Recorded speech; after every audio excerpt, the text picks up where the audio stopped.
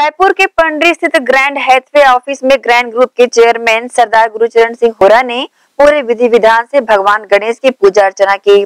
पंडित ने वैदिक रीति रिवाज से भगवान गणपति को विराजमान करवाया। इस मौके पर संस्था कर्मचारियों के साथ ग्रैंड ग्रुप के चेयरमैन श्री होरा ने आरती कर सबकी खुशहाली की कामना की।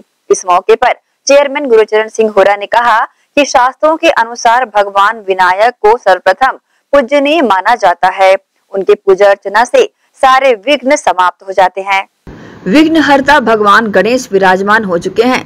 राजधानी रायपुर में भी गणेश चतुर्थी पर घर से लेकर पंडालों तक भगवान गणेश विराजमान हुए।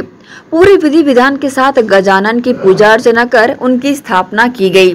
इसी कड़ी में पंडरी स्थित ग्रैंड हैथवे ऑफ़िस में भी ग्रैंड ग्रुप के चेयरमैन गुरचरण सिंह होरा ने पूरे विधि विधान से भगवान गणेश की पूजा अर्चना की। इस दौरान चेयरमैन होरा ने देश, प्रदेश और ज़िले में खुशहाली की कामना की। गौरतलब है कि 300 साल बाद बने दुर्लभ संयोग में बुधवार को विघ्न विनाशक गौरी नंदन श्री गणेश की घर घर स्थापना की गई है। ग्रैंड ग्रुप के चेयरमैन सरदार गुरुचरण सिंह होरा की मौजूदगी में पंडरी स्थित ग्रैंड हैथवे ऑफ़िस में भी पूरे वैदिक रीति रिवाज से भगवान गणपति को विराजमान कराया गया है। इस मौके पर संस्था के कर्मचारियों के साथ ग्रैंड ग्रुप के चेयरमैन गुरुचरण सिंह होरा ने पूजा अर्चना कर आरती उतार कर देश प्रदेश और ज़िले की खुशहाली की कामना की। इस मौके पर गुरुचरण सिंह होरा ने कहा कि शास्त्रों के अनुसार भगवान विनायक को सर्वप्रथम पूजा जाता है। उनकी पूजा अर्चना से सारे विघ्न समाप्त हो जाते हैं। पंडरी कार्यालय में भी भगवान गणपति विराजमान कराया गया है। वे इस मौके पर सभी कर्मियों की सुख समृद्धि की कामना करते हैं।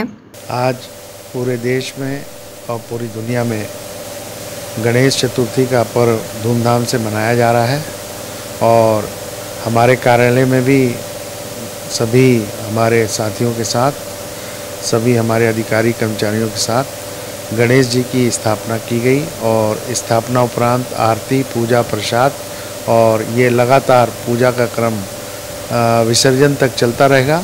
भगवान गणेश जी की स्तुति, पहली बार स्तुति करने से शास्त्रों में कहा गया कि गणेश जी के बिना कोई भी पूजा संभव नहीं है।